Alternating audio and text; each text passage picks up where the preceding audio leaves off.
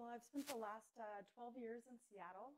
Um, I'm originally from Virginia, so when I was uh, heard about this position that was available here at the Hutton Hotel, um, I was excited to come back to the East Coast near my family and um, loving Nashville so far.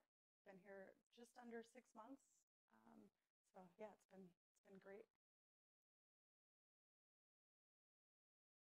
So we've just recently launched all of our new menus. Um, dinner, most being the most recent, um, kind of speaks to a lot of local ingredients here. That's just so great in Nashville, and the menu is set up kind of how I like to eat. So a lot of small plates, a lot of different vegetables that you can't necessarily find um, everywhere, and yeah, so you get to kind of graze across the menu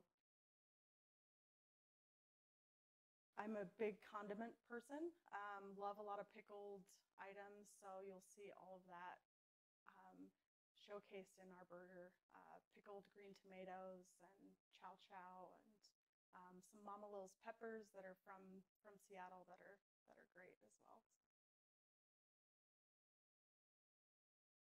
We have uh, a great burger on our menu, um, and 1808's been known for their burgers, so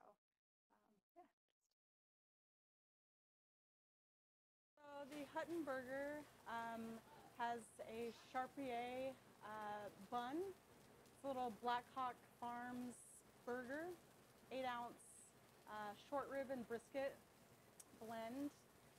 And then has pickled green tomatoes, a little iceberg lettuce, aioli, some sliced uh, onion.